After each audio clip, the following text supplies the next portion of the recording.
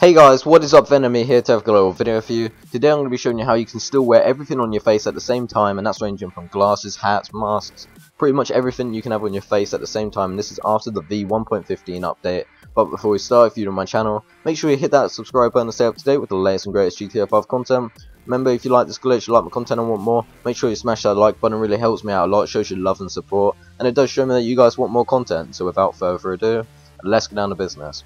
Okay, first of all, what they've done is they've made the new high-end apartments pretty much impossible to do this glitch in. You're going to have to rebuy the old high-end apartments if you're going to want to do this glitch, unfortunately. Pretty much what you do in the uh, the new high-end apartments is when you're meant to take a shot of uh, a shot of whiskey and then change your guys' characters, put on your hats and glasses and that. What they've done it is so it kicks you off straight after the first shot.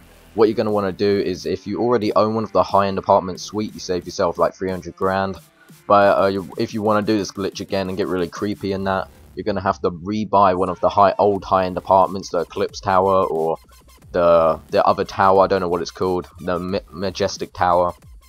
Pretty much you're going to want to rebuy one of them. And what you want to do is just come to the whiskey table.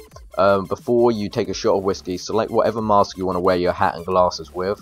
And then what you're going to want to do is take a shot of whiskey and then when your guy is leant over the table you don't want to hold back on your controller and you want to go to accessories inventory accessories and you just want to change your whole looks put your cowboy mask on your glasses everything like that and then press Y to leave to stop drinking the whiskey.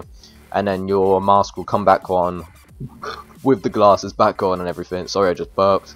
Um, you will spawn with your your mask back on your glasses on everything will still be on that still works after you die as well. If you get killed by a player, it, it takes the accessories off, I think. But if you get killed by a cop or anything like that, or die by accident, it all stays on. I've got a little challenge for all you die-hard subscribers that actually really love my content. Um, uh, find the scariest combination. Like, as you see, I was doing the Vulture and the Wolf. Find the scariest combo of hats and masks together. I'm really tempted to see what the creepiest combo is. But this has been your boy Venemie here. Don't forget to leave a like, comment, subscribe, and stay up to date with the latest and greatest GTA 5 content. Don't forget to follow me on Twitter because I do want to stay socially active with all of you. Add me on Xbox, all that good shit. Like, favourite, share. Helps me out a lot, shows your love and support.